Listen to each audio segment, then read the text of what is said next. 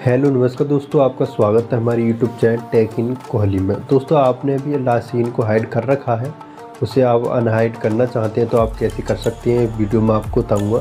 Simply guys आपको क्या करना सबसे पहले आपको क्या करना है, आपको व्हाट्सअप में जाना होगा।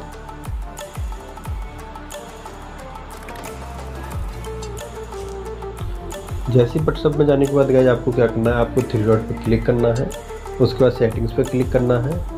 जैसे आप क्लिक करेंगे तो आपको एक ऑप्शन देखने को मिलेगा प्राइवेसी का। आपको उस पर क्लिक करना है और आपको फ़र्स्ट में ही लास्ट सीन का ऑप्शन देखने को मिलेगा। आपको उस पर क्लिक करना है और एवरी वन पर क्लिक कर देना है। और आपका लास्ट सीन है, वो हाइड हाइड था अनहाइड हो चुका है।